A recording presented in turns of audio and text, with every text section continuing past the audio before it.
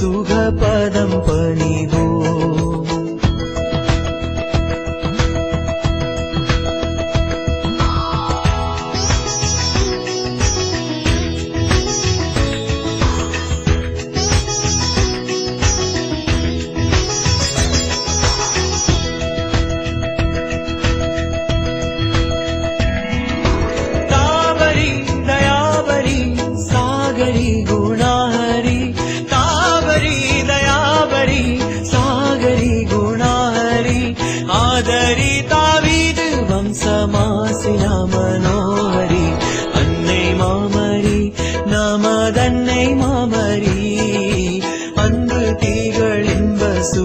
பதம் பணிவோம்.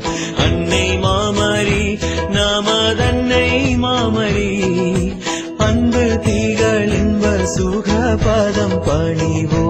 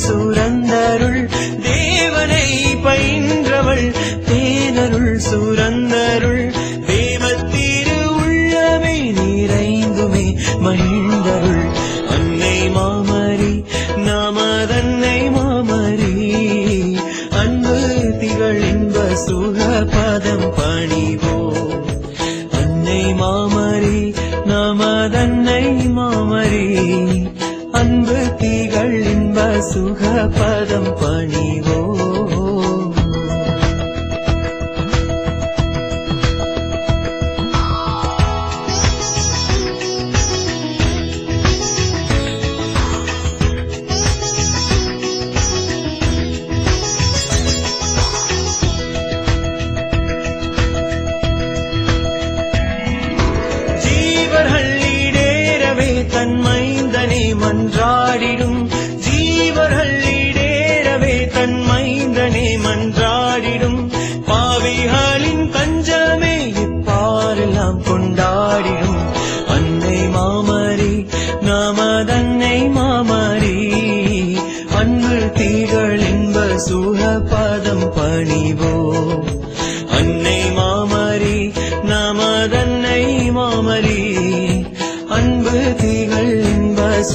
பதம் பணிவோ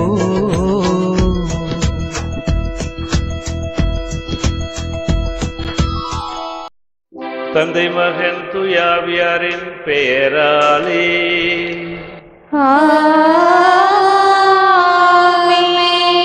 நம் ஆண்டவராய் இயேசு கிறிஸ்துவின் அருளும் கடவுளின் அன்பும் துயாவியாரின் தோழமையும் உங்கள் அனைவரோடும் இருப்பதாக. உம்மோடும்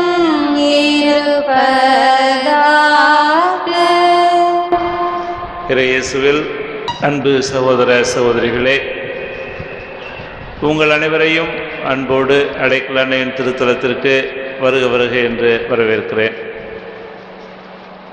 இன்றைய திருப்பலி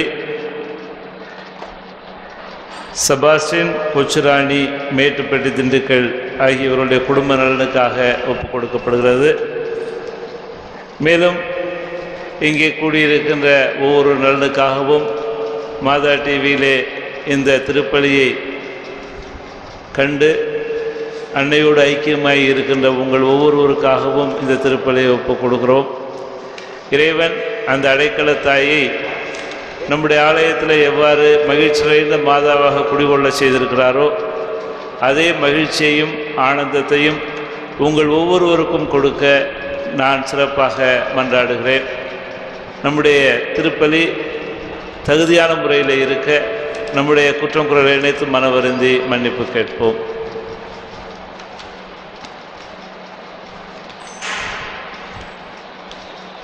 எல்லாம் வல்ல இறைவனிடமும் சகோதர சகோதரிகளிடமும் நான் பாவி என்று ஏற்றுக்கொள்கிறேன். ஏனெனில் என் சிந்தனையாலும் சொல்லாலும் செயலாலும் கடமைகள் தவறியதாலும் பாவங்கள் பல செய்தேன். என் பாவமே என் பாவமே என் பெரும் பாவமே.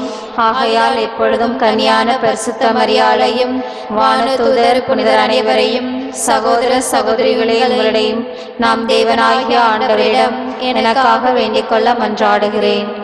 எல்லாம் வல்ல இறைவன் நம் மீது இரக்கம் வைத்து நம் பாவங்களை மன்னித்து நம்மை புது வாழ்வுக்கு அழைத்து செல்வாராக.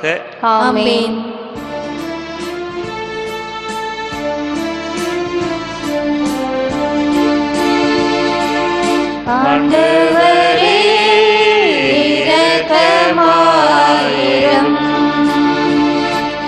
ஆண்டவரே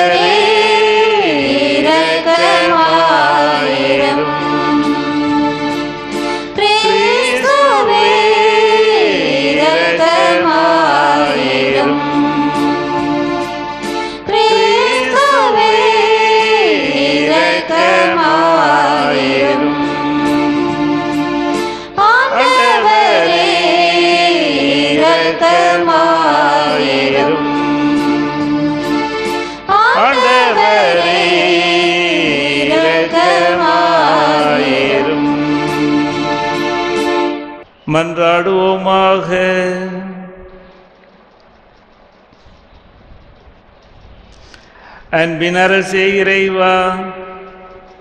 இவ்வுலகில் நிலைநாட்ட எவ்வகை தியாகத்தையும் செய்யும் மனப்பான்மையை புனித வென்சன்ஸ்லாஸ் புனிதர்களான லாரன்ஸ் ரூயிஸ் மற்றும் தோழர்களுக்கு கொடுத்தீரே.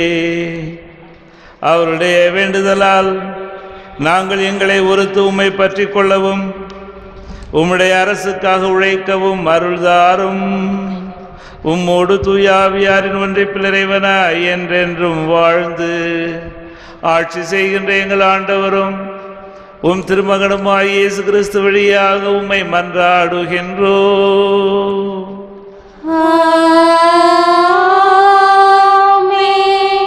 முதல் வாசகம் இறைவன் முன் மனிதர் நேர்மையாய் இருப்பது எப்படி? யோபு நூலிலிருந்து வாசகம்.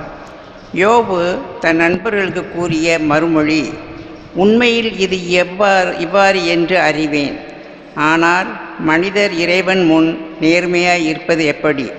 ஒருவர் அவருடன் வழக்காடி விரும்பினால் ஆயிரத்தில் ஒன்றுக்கேனும் அம்மனிதரால் பதிலளிக்க முடியுமா? இறைவன் உள்ளத்தில் ஞானம் உள்ளவர் ஆற்றலில் வல்லவர். அவருக்கு எதிராய் தம்மை கடினப்படுத்தி வளமுடன் வாழ்ந்தவர் யார்? அவர் மலைகளை அகற்றுவார். அவை அதை அறியார் அவர் சீற்றத்தில் அவைகளை தலைகீழாக்குவார் அசைப்பார். அவர் நிலத்தை அதனின்று அதிலும் அதனுடைய தூண்கள் அவர் தூண்கள் அவர் கட்டளையிடுவார். கதிரவன் தோன்றான். அவர் மறைத்திடுவார். மின்மீன்களை தாமே தனியாய் வானை விரித்தவர். ஆழியின் முதுகை மிதித்து நடத்தவர். வடமீன் குழுவையும் மிருக சீரிடத்தையும் கார்த்திகை விண்மீன்களையும் தென் திசை விண்மீன் குழுக்களையும் அமைத்தவர் அவரே. உணர்த்திட இயலாய் பெரும் செயல்களையும் கணக்கிட முடியா அருண் செயல்களையும் ஆற்றினர் அவரே. இதோ என் அருகே அவர் நடந்து செல்கையில் நான் பார்க்க முடியவில்லை. நழுவி செல்கையில் நான் உணர முடியவில்லை. இதோ அவர் பறிப்பாரானால் அவரை மறிப்பவர் யார்? யாது செய்கிறீர் என அவரை கேட்பார் யார்? இப்படி இருக்க எப்படி அவருக்கு பதிலுரைப்பேன் எதிர் நின்று அவரோடு எச்சொல் தொடுப்பேன். நான் நேர்மையாக இருந்தாலும் அவருக்கு பதில் உரைக்க இயலேன். என் நீதிபதியிடம் நான் இரக்கமாக இரக்கத்தையே கிஞ்சுவேன். நான் கூப்பிட்ட கூப்பிட அவர் பதிலுரைப்பினும் என் வேண்டுதலுக்கு அவர் செவி கொடுப்பார் என்று நம்புவதில்லை. இது ஆண்டவர் வழங்கும் இறைவா உமக்கு நன்றி.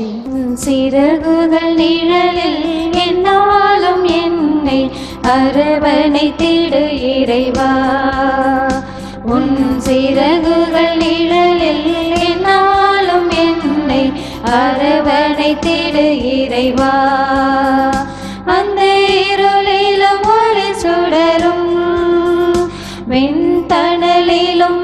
குளிரும். அந்த இருளிலும் ஒளி சுடரும். வெண்தணலிலும் மனம் குளிரும். உந்தன் கண்களில் இமை போல் என்னாலும் என்னை காத்திடு என் இறைவா. உந்தன் கண்களில் இமை போல் என்னாலும் என்னை காத்திடு என் இறைவா. உன் சிறகுகள் நிழலில் என்னாலும் என்னை அரவணைத்திடு இறைவா.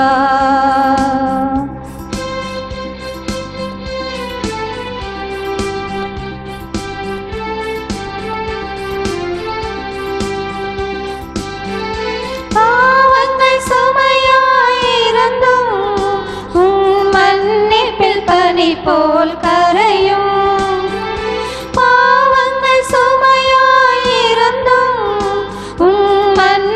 மன்னிப்பில் பனி போல் கரையும். கருணையின் மழையில் நனைந்தால் உன்னாலய புனிதம் அருளும். கருணையின் மழையில் நனைந்தால் உன்னாலய புனிதம் அருளும். உன் சிறகுகள் நிழலில் என்னாலும் என்னை அரவணைத்திடு இறைவா.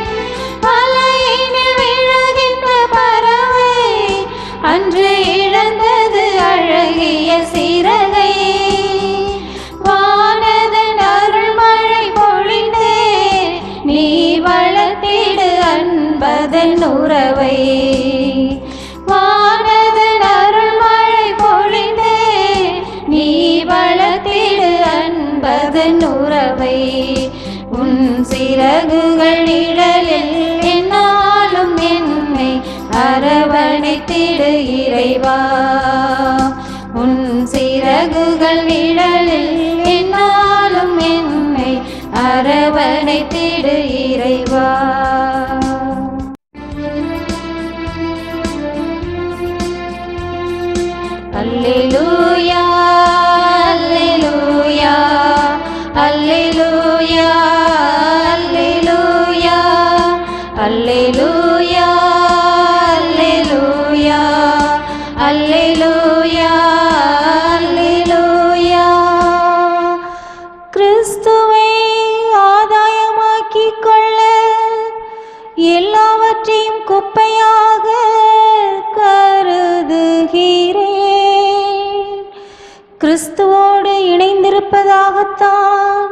நான் இவ்வாறு கருதுகிறேன். அல்லேலூயா. அல்லேலூயா. அல்லேலூயா. அல்லேலூயா. அல்லேலூயா. ஆண்டவர் உங்களோடு இருப்பாராக. உம்மோடும் இருப்பாராக எழுதிய புனித நற்செய்தியிலிருந்து வாசகம். ஆண்டவரே உமக்கு மகிமை. பிரிவு ஒன்பது இறை திருச்சொற்றொடர்கள் ஐம்பத்தி ஏழு முதல் அறுபத்தி ரெண்டு ஈராக. அக்காலத்தில் இயேசு சீடர்களோடு வழிநடந்தபோது ஒருவர் அவரை நோக்கி நீர் எங்கே சென்றாலும் நானும் உம்மை பின்தொடர்வேன் என்றார். இயேசு அவரிடம் நரிகளுக்கு பதுங்கு குழிகளும் வானத்து பறவைகளுக்கு கூடுகளும் உண்டு. மானிட மகனுக்கோ தலை சாய்க்கக்கூட இடமில்லை என்றார். இயேசு மற்றொருவரை நோக்கி என்னை பின்பற்றி வாரும் என்றார். அவர் முதலில் நான் போய் என் தந்தையை அடக்கம் செய்துவிட்டு வர அனுமதியும் என்றார். இயேசு அவரை பார்த்து இறந்தவரை பற்றி கவலை வேண்டாம். அவர்கள் அடக்கம் செய்யப்படுவார்கள். நீர் போய் இரையாட்சியை பற்றி அறிவியும் என்றார். வேறொருவரும் ஐயா உம்மை பின்பற்றுவேன். ஆயினும் முதலில் நான் போய் என் வீட்டில் உள்ளவர்களிடம் விடைபெற்று வர அனுமதியும் என்றார். இயேசு அவரை நோக்கி கலப்பையில் கை வைத்த பின் திரும்பி பார்ப்பவர் எவரும் இறையாட்சிக்கு உட்பட தகுதியுள்ளவர் அல்ல என்றார். இது கிறிஸ்து வழங்கும் நற்செய்தி. கிறிஸ்துவே புகழ். இறையேசுவில் அன்புக்குரிய அன்பு சகோதர சகோதரிகளே நீண்ட நாட்களுக்கு பிற்பாடு உங்களை மீண்டும் சந்திப்பதிலே மிக மகிழ்ச்சி அடைகிறேன்.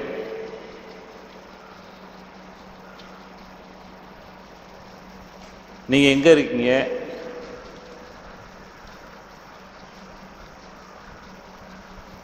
உங்களை பார்க்காம மனசே கஷ்டமாக இருக்குது அப்படின்னு ஆயிரக்கணக்கான சகோதர சகோதரிகள் என்னை தொலைக்காட்சியில் அழைத்து ஏதோ துக்கம் விசாரிக்கிற மாதிரி விசாரித்தப்பெல்லாம் எனக்கு சிரிப்பு வந்துச்சு சிரிப்பாகவும் வந்துச்சு. எனவே இன்று உங்களை மீண்டும் பார்ப்பதிலே நான் மகிழ்ச்சி அடைகிறேன். நான் ஏலாக்குறிச்சியில் தான் இருக்கேன். இந்த மாதாசுரம் முடிகிற வரைக்கும் ஏலாக்குறிச்சி விட்டு போக மாட்டேன் ஏலாக்குறிச்சியில் தான் இருக்கேன். ஒரு நாள் ஒரு சகோதரி ஒருவர் வந்தார். அவர் வந்து ஃபாதர் எங்கன்னு கேட்குறார் அப்போ சின்ன சாமியார் ஷட்டில் காக் விளையாண்டுட்டு இருக்கார். அப்போ அவர் சொல்கிறார் நான் தான் ஃபாதர்னு சொல்கிறார் அந்த அம்மா சொல்கிறாங்க இல்லை வேற ஒரு ஃபாதர் இருக்காங்க. அப்படின்னு அப்போ நான் வயலுக்கு போயிட்டு வரேன். வழக்கமாக வயலில் வந்து வயலுக்கு போகும்போதெல்லாம் நான் லுங்கி கட்டிட்டு தான் போகிறது அன்னைக்கு மட்டும் தெரியாமல் அங்கி போட்டு போயிட்டேன்.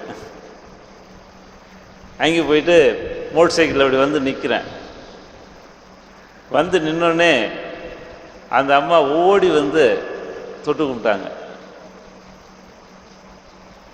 சரி ஒரு தடவை தொட்டு கும்பிட்டாங்க ஓகே. தொட்டு கும்பிட்டுட்டே இருந்தாங்க. எனக்கு கொஞ்சம் பயம். என்ன பயம்? யார்கிட்டயும் மாட்டிக்கிட்டோம் போல் இருக்கு அப்படின்ட்டு நான் ரொம்ப நைஸாக சொன்னேன். உங்கள் வீட்டுக்காரர் எங்கம்மா? அப்படின்னு கேட்டேன். அவர் வந்தார். அவர் வந்து அவர் தொட்டு கும்பிட்டாரு. எனக்கு உள்ளபடியே பயமாயிடுச்சு. என்ன பயமாயிடுச்சு? யார் கொஞ்சம் நெட்டு கலந்த மனிதர்கிட்ட மாட்டிக்கிட்டோம். அப்படின்ட்டு பயந்துக்கிட்டு ஆஃபீஸ்க்கு வாங்கன்னு கூப்பிட்டு போனேன். அங்கே போய் உட்காந்தோடனே திருப்பியும் தொட்டு கும்பிட வந்தாங்க. நான் ஒதுங்கி ஓடி போய் எட்டி உட்காந்துக்கிட்டு என்னன்னு கேட்டேன். அப்போ சொன்னாங்க ஃபாதர் நான் நடந்து ரெண்டு வருஷம் ஆச்சு. எவ்வளவு தூரம் என்னுடைய நிலைமை மோசமாக இருந்தது என்றால் எங்கள் வீட்டுக்காரரு என்னை கொண்டு போய் பாத்ரூமில் விட்டுட்டு வெளியில் கதவை சாத்தினாதான் ஒரு நிம்மதி. அந்த கதவை சாத்துறது கூட எனக்கு முடியாது. அவ்வளவு வேதனை. இந்த ஆர்த்தரைட்டிஸ்னு சொல்லுவோம்ல மூட்டு வலி ஒவ்வொரு ஜாயிண்ட்லேயும் வலிக்கும். அப்படி ஒரு வலி. அதனால் வந்து என்னால் ஒன்றுமே செய்ய முடியாது. ரெண்டு ஆண்டுகள் ஆச்சு நான் நடந்து அப்படின்னு. நான் அப்படி நைஸாக பார்த்தேன். இப்போ நடந்தாலும் வந்தீங்க அப்படின்னு நைஸாக பார்த்தேன். அப்போ பார்த்தோன்னே அவங்க சொன்னாங்க நீங்கள் ஜெபம் சொன்னீங்க நான் சரியாக போயிட்டேன் எனக்கு சிரிப்பு வந்துச்சு. கடவுள் தான் செய்ய முடியும் நம்ம செய்ய முடியாது. தனி மனிதனுடைய ஜெபத்தால் எல்லாம் நடக்கிறது என்று சொல்வது வீண் பெருமை. மாறாக இறை சித்தத்தால் நடக்கிறது. அதற்கு நாம் ஒரு கருவியாக இருக்கிறோம். அந்த கருவி என்கின்ற ஒரு நிலைப்பாட்டை தவிர நமக்கு வேறு எந்த ஒரு அருகதையும் கிடையாது. என்ன நடந்துச்சு? அப்படின்னு கேட்டேன். அப்போ சொன்னாங்க நான் எந்திரிக்க முடியாமல் படுத்து கிடந்தேன். அப்போ கருப்பு ஜோசப் சிகப்பு ஜோசப் அப்படின்ட்டு ரெண்டு பேர் நம்ம அடைக்கல மாதா கோயிலுக்கு போயிட்டு வந்தவங்க வந்தாங்க. வந்து இந்த பெங்களூர்காரவங்க தமிழ்லாம் ஒரு வித்தியாசமாக இருக்கும். நாங்கள் அடைக்கல மாதா கோயிலுக்கு போனோங்கோ அந்த மாதா அற்புதங்கோ வேண்டிக்கோ அப்படின்னு சொன்னாங்க.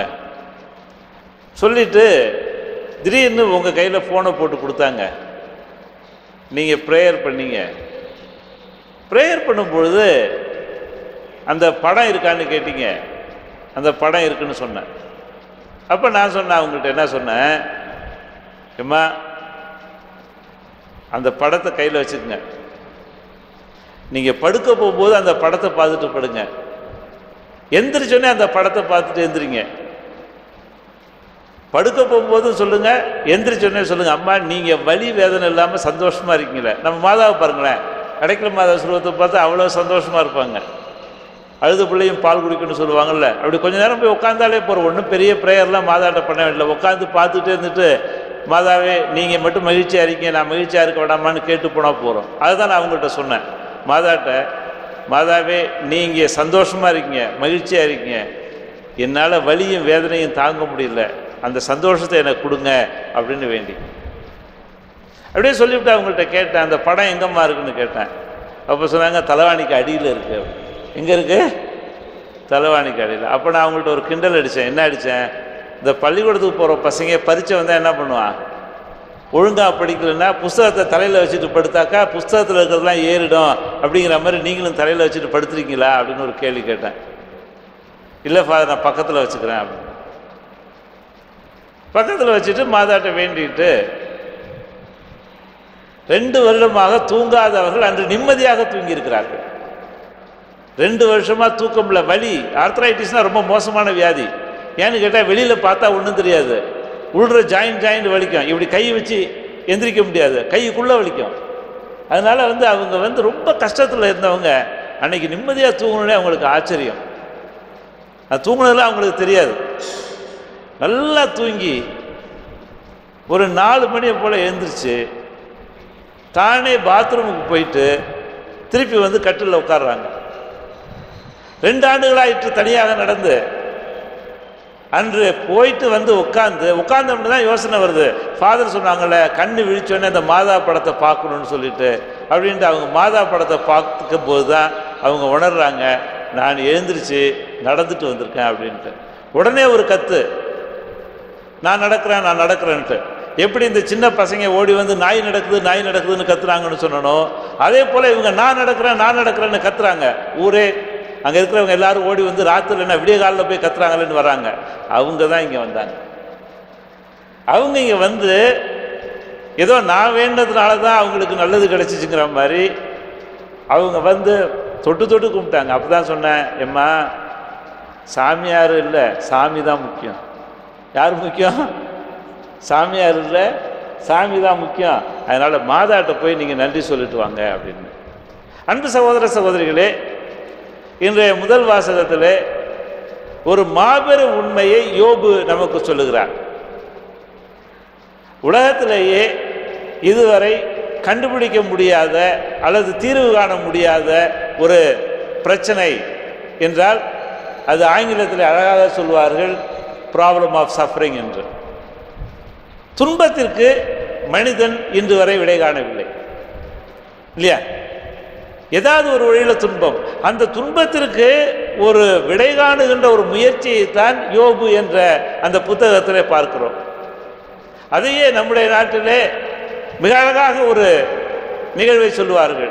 அதே மாதிரி யோபு மாதிரியே நம்மள்ட்ட ஒரு கதை இருக்குது என்ன கதை அது? எல்லாம் ஒன்றாம் கிளாஸுக்கு போக வைக்கணும். ஹரிச்சந்திரன் கதை. ஹரிச்சந்திரன் கதை இருக்குல்ல? இந்த ஹரிச்சந்திர புராணம் என்று சொல்லுகிறோமே எவ்வாறு யோபு கடவுளுக்கு எதிராக நான் செயல்பட மாட்டேன்? எந்த சூழ்நிலையிலும் கடவுள் என்னை கைவிட மாட்டார். அடிப்படையான நம்பிக்கை அதுதான். எனக்கு சொத்து போகலாம் சுகம் போகலாம் மனைவி போகலாம் மக்கள் போகலாம் மாடு போகலாம் ஆடு போகலாம் அனைத்தும் போகலாம். ஆனால் என்னை படைத்தவர் என்னோடு இருக்கிறார். என்னை படைத்தவர் என்னோடு இருக்கிறார். அதைத்தான் நாம் ஹரிச்சந்திர புராணத்தில் வேற பொறியாக பார்க்கிறோம். அயோத்தி மாநகருக்கு அரசனாக இருந்தேன். எல்லாம் சென்று விட்டது. என் மனைவி போய்விட்டாள். எந்த ஒரு சூழ்நிலைக்கு நான் தள்ளப்பட்டிருக்கிறேன் என்றால் என்னுடைய மகனையே சிறையிலே வைக்கின்ற ஒரு தொழிலை பார்க்கின்ற அளவுக்கு நான் கேவலப்படுத்தப்பட்டு விட்டேன். ஆனாலும் நான் என்ன செய்ய மாட்டேன்? பொய் சொல்ல மாட்டேன்.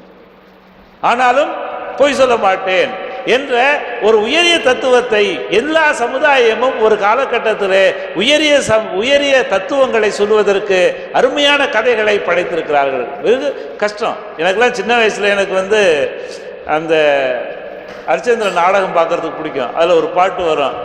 நாடு இழந்தேன் நகர் இழந்தேன் காடு இழந்தேன் மனைவியை கூட இழந்து விட்டேன் அப்படின்னு ஒரு பாட்டு வரும். அப்படி எல்லாவற்றையும் இழந்தாலும் என்னுடைய வாழ்க்கையையே நான் இழக்கின்ற ஒரு சூழ்நிலை வந்தாலும் நான் இறைவனை விட்டு பிரிய மாட்டேன் உண்மையை விட்டு பிரிய மாட்டேன் என்கிற அற்புதமான தத்துவத்தை சொன்ன இரு நிகழ்ச்சிகள் இவைகள்.